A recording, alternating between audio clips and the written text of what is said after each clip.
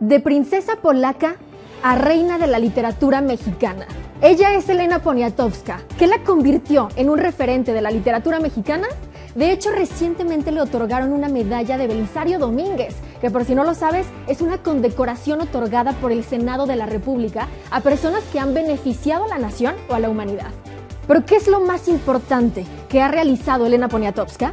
Primero debemos saber que Elena nació en París, Francia, en el año 1932, o sea que tiene 90 años en la actualidad. Aunque nació en Francia, ella llevaba el título de princesa polaca, porque su papá fue el príncipe Jean-Joseph Evermont Poniatowski, descendiente de la familia del rey Stanislao II Poniatowski de Polonia.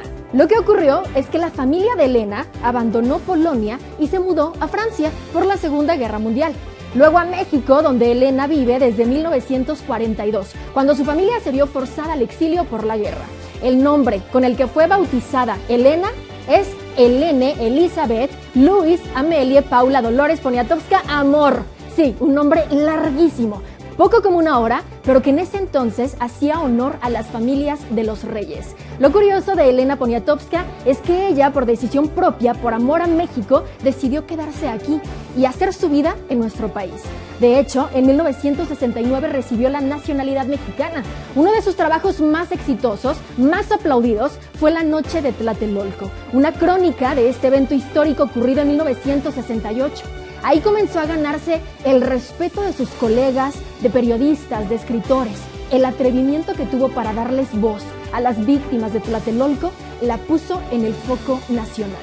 También escribió Nada, Nadie, las voces del temblor, luego de los terremotos de la Ciudad de México en 1985 Tan grande fue su éxito que en 1979 fue la primera mujer en recibir el Premio Nacional de Periodismo en México. Elena Poniatowska se destaca también por haber publicado entrevistas a célebres personajes mexicanos como Diego Rivera. Recuerdo que a, Diego Rivera, yo cuando empecé a hacer las entrevistas, todavía ahora soy de una gran ignorancia, pero yo no sabía nada de la gente a quien me mandaban entrevistas entonces me mandaron a entrevistar a Diego Rivera, que tenía una panzota así, estaba todo vestido de tweet y tenía los dientes chiquititos, chiquititos. Entonces me acuerdo que le dije, oiga, oiga, ¿y que esos dientes son de leche?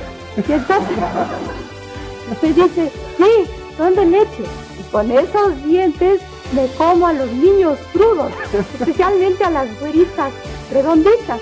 Dice, y con eso, eh, porque yo, mi mamá fue una cabra, que me amamantó y por eso mis dientes jamás llegaron a crecer más de los Tan reconocida es su trayectoria que en 2013 recibió el premio, el más grande de toda su carrera, el premio Cervantes, para hacerle honor a toda su trayectoria literaria y periodística. Yo soy Mariana Iparrea y nos vemos a la próxima.